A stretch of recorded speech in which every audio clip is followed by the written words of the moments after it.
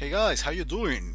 Uh, sure, gameplay of Super Pang or Super Buster Brothers on the Super Nintendo, personal choice.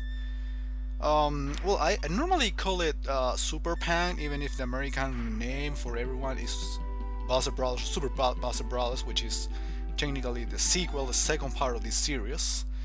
Um, this is a Capcom game, kind of famous for the Super Nintendo. Um, I have done a few live streams on, uh, I remember the first Pang. I think I didn't play this one in detail. Um, it's basically the same mechanics, basically to, to use these uh, harpoons or whatever they are to to pop the, uh, the balloons or the bouncing balls. I don't know if we can consider those balloons. And there are a few sequels for the arcade as well that I think uh, weren't released in any other console, that, at least what I remember. I did a let's play two years ago of Pang 3 uh, on, uh, on the arcade. It was a, a CPS game, um, released only in Japan if I'm not mistaken. I did uh, that game, I think with commentary, with the crappy commentary I used to have back in the day. It doesn't mean my commentary currently is amazing, but at least uh, sounds less dumb, if you will, than the previous one. So I did a complete playthrough that, 50 levels or something, with some failure of course. You know, this game is really easy for a player to fail. Um, there is another sequel called Mighty Pang. Uh, I think also released on in, only in Japan since it was it maintained the Japanese name. Remember, Japanese name is Pang, and the American one is uh, Buster Brothers. Um, so what else can I say? Well, you basically travel around the world. That's what you do. At least in the first two Pang games. In the third one, you go, you are in an in an art gallery, and you are supposed to go through different pictures, different uh, famous paintings, including the Mona Lisa, which was one of the last ones, if I'm not mistaken. Um, so you like you get sort of inside of those pictures, those paintings, and, and those are like the main backgrounds you see here. In the traditional Pang games, you, the background is basically a part, a location Uh, uh, around the world, if you will. But in the, in the sequels, they try to change some aspects of it.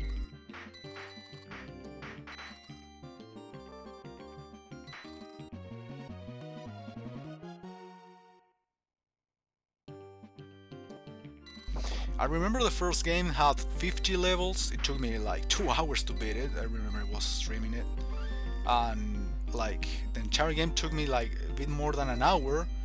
Uh, no, I, the, the, first 49 levels took me like an hour, and the, the, the, last level took me another fucking hour, something like that.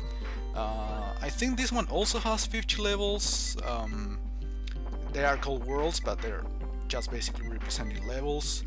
And the main worlds are the continents. I'm in Africa right now, and then you move to Europe, Asia. I don't remember the order, but you, you are pretty much starting from uh, Asia, Africa, and then you're moving to Europe and America. Um, at, le at least I'm trying to remember the first game. In the third one, as I told you, they uh, basically use uh, paintings in an art gallery and each painting uh, there are like three levels there are like 20 different paintings or something like that which are the backgrounds can see here basically Mighty Pang I don't really remember that game is from 2001 if I'm not mistaken uh, I don't really remember um, how the, the game was working even if I play a bit of it on streams on like more than a year ago for sure. So I probably could play it uh, even for the Capcom vs Konami series. That I'm supposed to play it for, for, for us to see the differences. Uh, there is of course graphical improvement which is actually very attractive to play such a classic game with improved, with enhanced graphics. Yeah, I was starting like in yeah Africa if I'm not mistaken, moving through you know Australia, I believe geography is not my type of thing, as you can tell. But yeah, I don't think I'm so lost in that sense.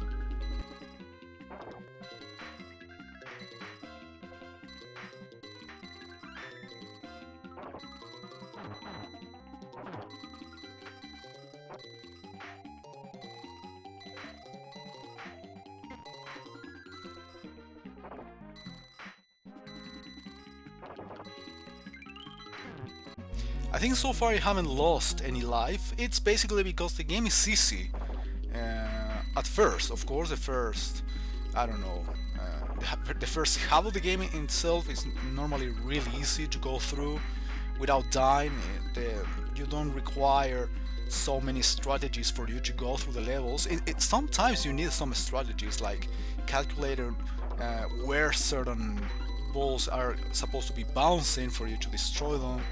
Um, it's a, a, little bit of thinking applied here sometimes, right? Because uh, if if there is something I really detest from certain video game is to think. I mean, I, I don't think at all, and man, there is no reason for me to to be thinking in a fucking video game. I'm supposed to have fun and just you know fuck around with it, but not you know, prove my fucking skills, mental skills. Fuck that, I don't give a shit. World 10. Oh, first 10 levels. It's actually not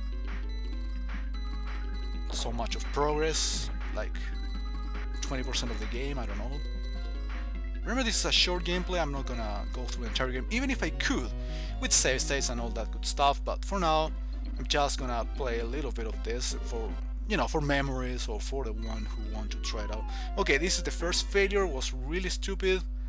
Actually, I could have avoided that. I was just caring about moving as, as, as soon as I could, and well, since I did that, um, I failed. Man, if possible, try to get shields and maintain them as much as you can. Um, you get power-ups in here, I actually forgot to mention that when I just failed once more. Uh, it's not that difficult to get um, power-ups in here, and well, if, if possible, make sure to get, uh, you know, the double shot, which is my favorite without a doubt. Even if the other shot, actually this one, um, for you to, you know, stick this uh, harpoon on, on, on, the on the ceiling for a few seconds, it's not really reliable. Even if it assures it's gonna destroy some uh, bouncing balls, it doesn't stay there forever. That's the only problem. Uh, but that's why I make sure using the, the double shot instead.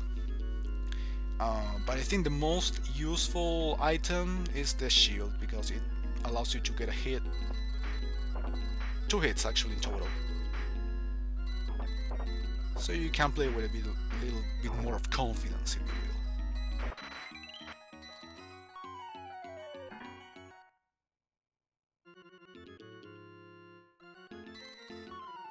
Okay, too much failure. I well, last life. If I lose the life, I just finish the video. There is no point in continuing for now. Uh, 12 levels. Uh, it's not that bad.